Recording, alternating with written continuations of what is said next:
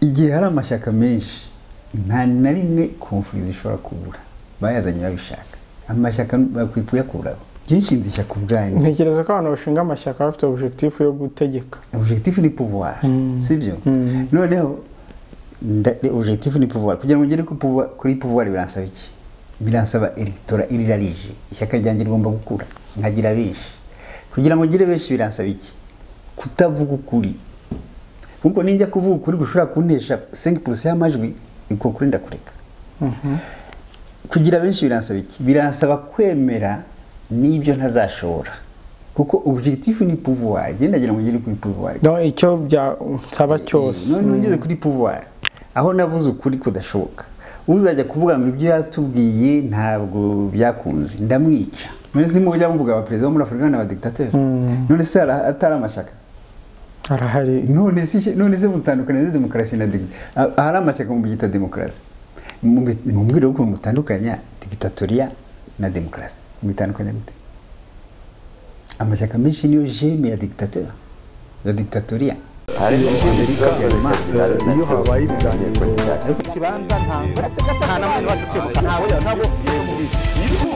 murabibona murabizi mugaceceka. Uruhare rw'itangazamakuru mu iterambere ry'igihugu. Ntabwo akenshi itegeko rivuga ngo kapitani ibrahim traore ukuriye agatsiko ka gisirikare.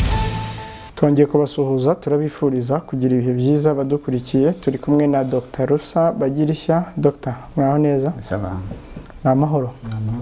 Mm, ku cyumweru rero gishize ni bwo leta ya etiyopiya yatangaje ko yataye muri yombi abantu mirongo ine na barindwi ah, bakurikiranyweho umugambi wo gushaka guhirika ubutegetsi bwa dr. Abiy ahmed ni minisitiri w'intebe wa etiyopiya inzego z'umutekano n'iz'iperereza zigatangaza ko zataye muri yombi abo bantu.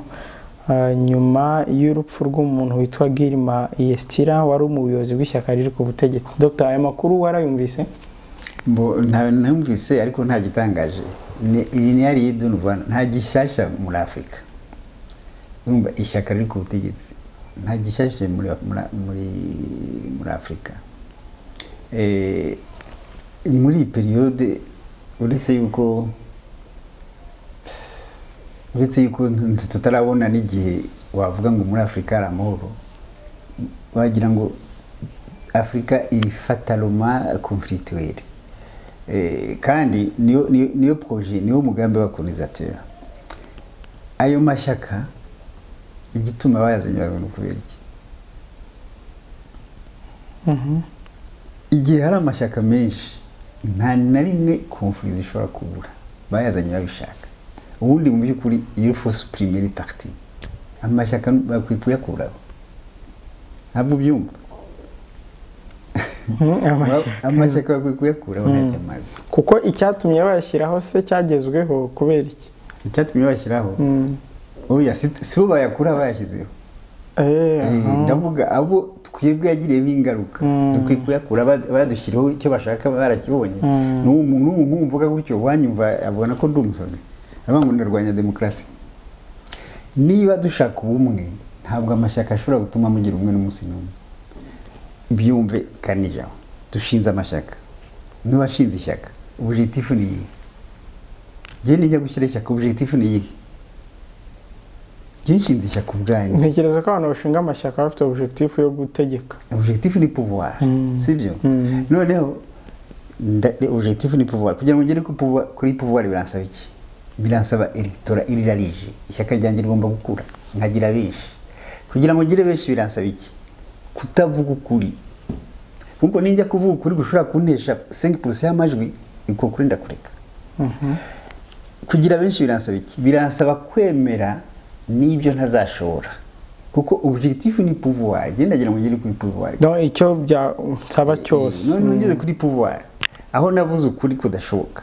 Uzajya kuvuga ngo ibyo yatubwiye ntabwo byakunze. Ndamwica. Iyo bakubwira dictateur. Abadictateri bose ari mu mashyaka menshi. None se ujya muvuga abaperezida bo muri afurika ni abadiktateri. None se atari amashyaka. Arahari. None se none se mutandukanya demokarasi na digi ah- ahari amashyaka mu byita demokarasi. Mu mumbwire ukuntu mutandukanya digitatoriya na demokarasi. Mubitandukanya gute? Amashyaka menshi niyo jeme ya dictateur ya dictatoria Ni- nga- nga- ngaho basi nimumbwire nibagiye ntabizi. Donc abazanye amashyaka eh, bayimpoza afurika babizanye mu isura ya demokarasi.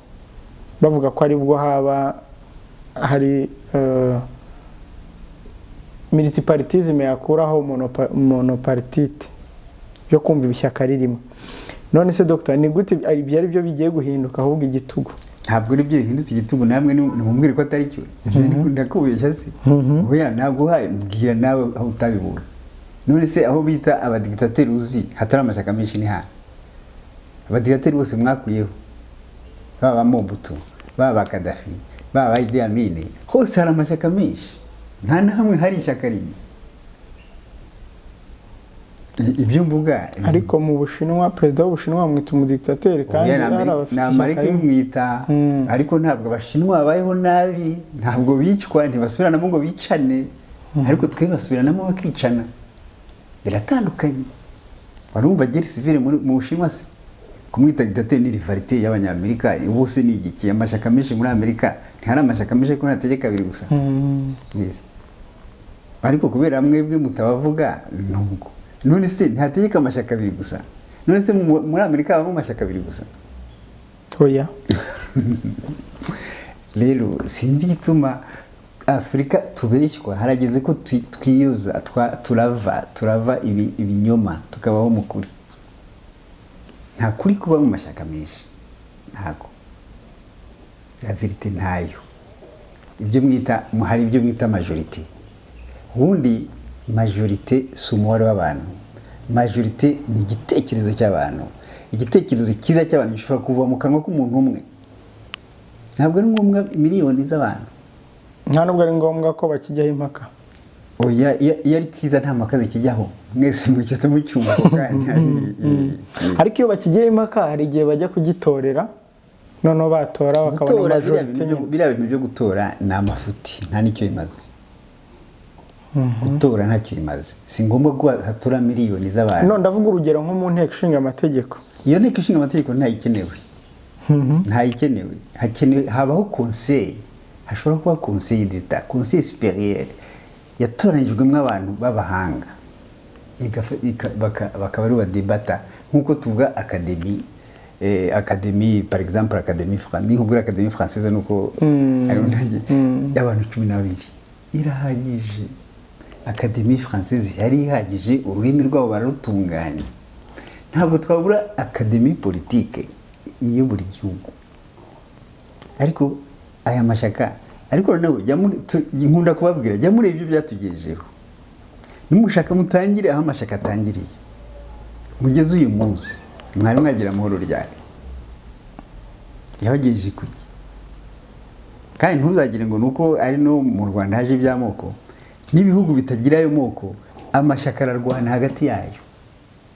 Kuko ntabwo niba afite egitora niba agiye objectif yanjye ari egitora wo- nawe we ufite irindi shyaka ku ruhande. N'undi afite irindi na pamela afite irindi na randa afite irindi ni amashyaka ane. Ubwo ni make hari ibihugu bigira amashyaka makumyabiri. Iryanjye muri propaganda yanjye ndagenda mvuga nabi ayo mashyaka atatu. Ibyo ni ibisanzwe niyo ushinze idini uvuga andi madini nabi. Ibyo ni ibisanzwe kuvuga andi mashyaka na yo kugira ngo ngire kuko muri objectif zanjye croissance irimo kugira ngo ngire benshi. Icyo gihe rero nindi vuga nabi. Namwe muzavuga nabi ryanjye kandi kurivuga muravuga mu bayoboke banyu. Abayoboke bacu mwe twese barangana. Mm. Bazagenda ba- aho bari muri kulise bari hanze mu mihana bati mwebwe mumeze gutya na gutya? Baravuga ibyo nababwiye. Nabo bati namwe mumeze gutya na gutya. Baravuga ibyo bababwiye cyangwa ibyo famille yababwiye. Noneho nitsinda rero. Bagende birate kuri bariya. Ba bandi baba bari. Umwiryane utangira barwane Mm.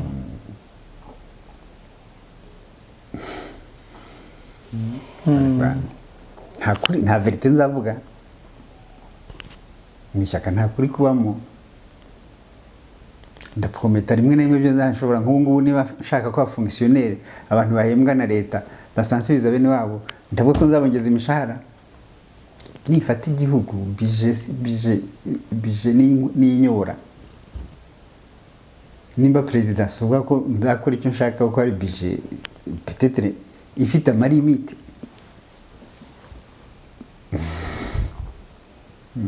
ari na yo mpamvu tubona umuntu ashobora kwemera ibintu ataragera ku butegetsi abugeraho bikanga. Cyane. Mm. Aho rero ubwo twavuga ibyo byo muri etiyopi etiyopi ni igihugu ubundi historikema etiyopi ni igihugu kigira ubumwe. Mwese murabizi byatumye gitsinda n'abakolonisateri ariko kubera eh, imbaraga za ogusida zivuga ngo udagize amashaka menshi ubaye komuniste cyangwa ubaye iki ukabura amahoro na na etiyopi yabaye kugira amashaka menshi. Kuko ba- ba- iyo baranayikomye cyane kuko n'iriya ntambara yo muri mirongo itatu na gatanu igihe cya musori ntugendwa na musori ni wenyine. Bariya bene bo bari bamushyigikira bari babajwe n'ukuntu yatsinzwe muri muri magana inani mirongo itatu na ga- mirongo icyenda na gatandatu. Mm. nawe abo burije yo gukorera amashyaka yo gushyiramo amashyaka menshi. Kuko ntibahumeka bazahumeka ari uko etiyopi na yo igize ibibazo. Kubera iriko irazamuka cyane. Kuki iby'amashyaka menshi zitabyanze? Oya sinakubwiye se. Hari ukuntu hari hari ukuntu haba domination. Ntabwo yari kuva mu bihugu mirongo itanu na bine ngo yange kandi amerika idomina uburusiya bwanasenyutse bwari kuyifasha yari kugira ikibazo. Bari no kuyisenya na yo nyine. Ntabwo yari kubyanga. Bari kuyisenya bitandukanye n'uyu munsi. Kuko bashatse no kuyisenya birabananira nk'uko nabwiye ko ibintu biri birahinduka uyu munsi ubu yabyanga. Ntibizagutangaza bihindutse. Ariko nta kindi iri- kwirazira ni ayo mashyaka ikindi kuko na mbere igihe yaterwaga n'abataliyani yiza kugira amashyaka menshi. Iba yaratsinzwe iriya ntambara. Iba yaratsinzwe. Bavuga rero ko um, bano bantu mirongo ine na barindwi batawe muri yombi bakekwaho ibikorwa by'iterabwoba kandi ngo bafite abantu baba mu mahanga babari inyuma barimo ngo abanyamakuru n'abanyapolitike bahunze igihugu. Ni abanyamahanga usanga ari abantu bafitanye relation na tigre. Tigre ni amerika iri inyuma. Abanyamahanga ni- n'ubundi nta- niga ni byo nakubwiye ntabwo afurika iragira konfuri yayo. Konfuri ziba muri afurika zose niziva hanze. Kuva kuva bababwira bababeshya bya bindi bya independence ni cyo nakwereka afurika ikwiye kwi- dukwiye gufata umwanya tuki- tukihanagura ibinyoma batubeshye tukagendera kuri. Kuko tugendera ku binyoma hafi ijana ku ijana. Ubuzima bwacu bwa politiki ni ibinyoma gusa. Ni ibinyoma gusa. Ni ibintu byatangiye kera babwira ati muri de developema mu myaka iyi n'iyi ngiyi muzaba muri develope gusumba uburayi niko shirake yababwiye. Uzasome René Dimo muri pour Afrique Jacques urebe pour Afrique Jacques avuga ati "A- Afurika mu myaka mirongo itanu izaba igeze ku bintu twafashe amasiyekere ngo tubigereho. Tukagendera muri ibyo. Imyaka n'ijana igashira. Ntabwo twahora muri ibyo rero. Dr iri tangazo rivuga ko abakekwaho ibi bikorwa byo gushagurika ubutegetsi bakoreraga imbere mu gihugu no mu bihugu by'amahanga bagamije gufata ubutegetsi bw'akarere ka amahara no guhirika guverinoma yose ya etiyopiya binyuze mu kwica abayobozi bakuru b'igihugu amahara ni Addis Abeba Mhm. Mm. ni hepfo ni haru- ni hepfo ni hepfo ngira ngo Hepfo. mm. Nako ni hafi ya Addis Abeba Mm, ngo bashaka gufata akarere kose ka amahera ibyo ni tigire ni tigire kandi tigire ugusidira inyuma. Mm. amaherezo rero ni umugambi wo gusenya etiyopiya bazawugeraho. Ntabazageraho Mm. Mhm. kubera iki dogita ntabazageraho kuko na mbere barishyuwe buriya ni amatentative ko byarabananiye. Barashaka gusa ko itaba sitabure erega etiyopiya iri irabatera ubwoba kuko iri irazamuka ekonomikema ku buryo bigaragara. Nawe ugeze Addis Abeba urabona ko Addis Abeba yahinduye isura. Hari inganda nyinshi nta mushomeri bafite. Aba- abanyeshuri bariga neza bishyura amafaranga make cyane. Leta ibishyurira ka 80% biriya rero bibabaza burayi. Etiyopi mu bihugu cumi bikize muri afurika irimo ni iya gatandatu. Ibyo byose birababaza. Kandi irarisika kuzamuka ice no kuri nigeria.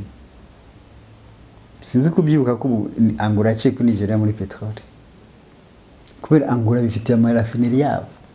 Tanzi ko nigeria ni rafineri muri londres.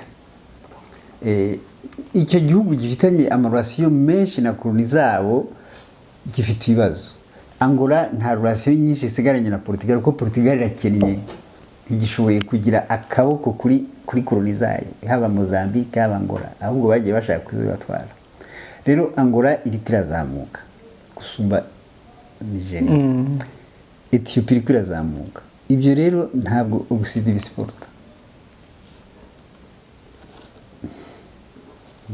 mbese dogita kuvuga ngo ntabwo bazayisenya ngo babishobore ninde uyiporoteje ubu ngubu ntayo bazashobora. Ninde uporoteje etiyopi Oya, none se none se none se kumbaza ifiyuzi icyatumye icyatumye tigre itsindwa ni ukubera iki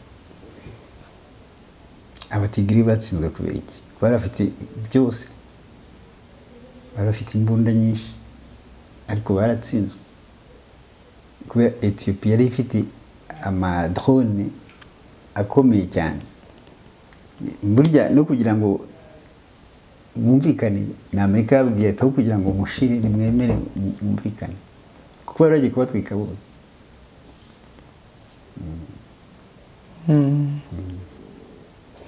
mu kanya rero uti amashyaka menshi ntabwo ari ngombwa ariko nanone abayazanye ko bakiyafiteho umugambi afurika yanyura mu yihe nzira iyakura? Ariko sinzi ko ibi- ibintu ntibihora uko byahoze ibintu birahinduka. Hari ikintu bita kenshi njya numva muti crise crise. Crise ni ngombwa ni indispensable ni na souhaitable crise ni ukuva ni, intermediaire ni ukuva aho wari ujya ahandi. Ni, crise ni signe de changement ubu rero turi muri iyo crise. Izi ntambara ubona ni zira- zishira hari, changement abo rero bayazanye ziza- zizashira batagifite imbaraga zo kwisana yandi ifu ko afurika igira imbaraga zayo. Kubera iki? Ijya mu bintu yazaniwe se.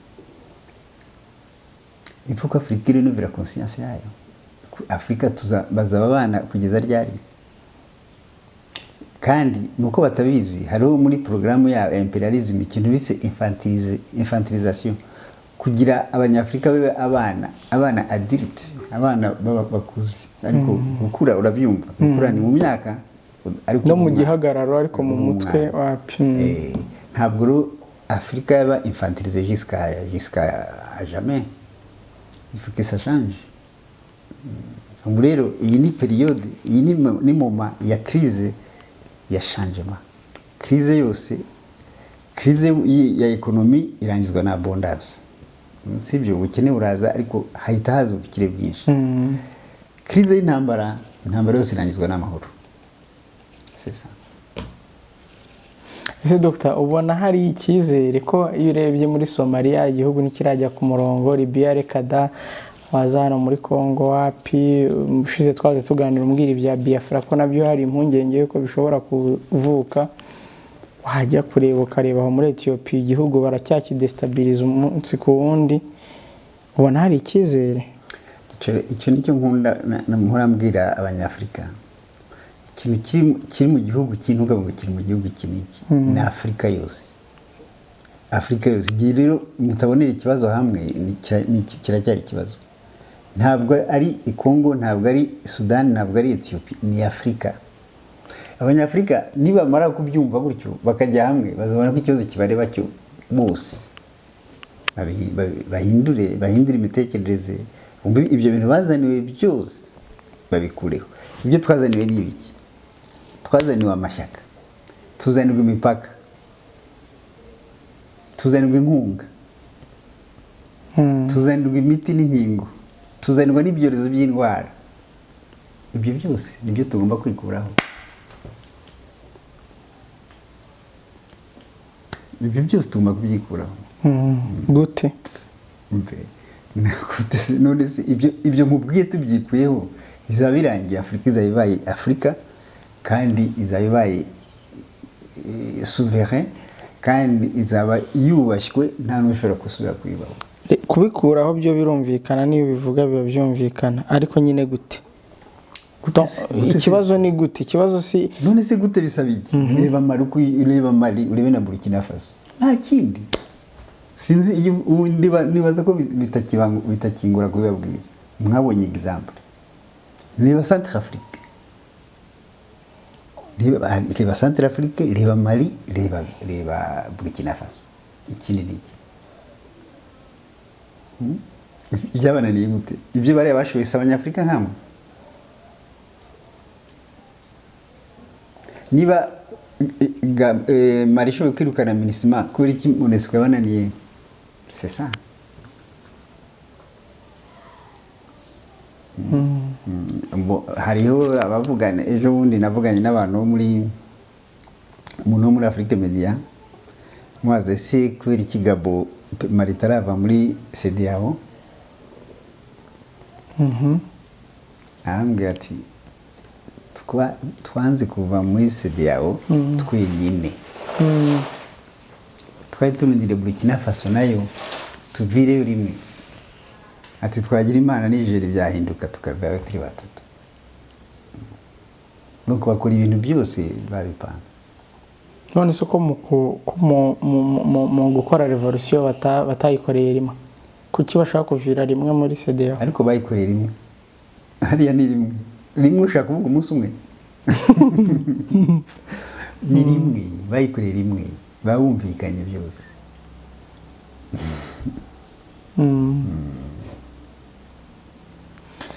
Ya, Dr reka dusoreze hanyuma nta kindi watwongereraho. Ndasaba merci ibyo mvuga mbivuga buri munsi. Ndasaba ubumwe ndasaba ubumwe bwa afurika l'afrique hmm? l'afrique doit s'unir si l'afrique ni la mort. Cyane. Ça. Iyo habaye ibiganiro.